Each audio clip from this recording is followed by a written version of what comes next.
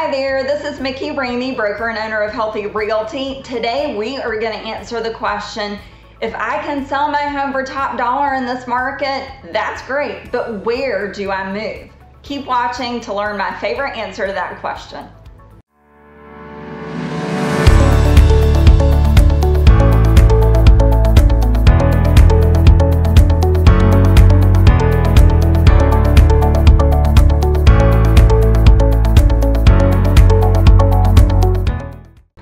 So you've decided to sell your house. This is the best real estate market we've seen for sellers to get top dollar for their homes, but maybe you just can't figure out where to move, what home to move into.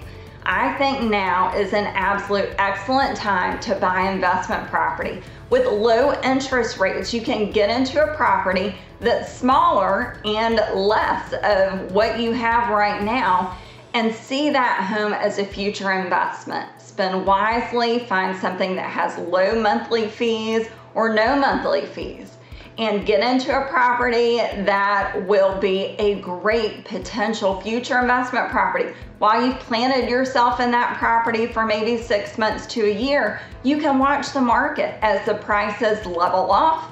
You can watch the market for finding your dream home and being able to make an offer on that property you move into your dream home, you rent out the property that you've been living in, and you become a real estate investor. If you're looking to do your first investment property or your 16th, our team would love to help you.